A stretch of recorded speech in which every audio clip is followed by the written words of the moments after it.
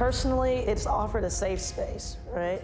Um, a safe space to be aggressive, um, to have, have fears, to be vulnerable, to have incredible happiness and gratitude.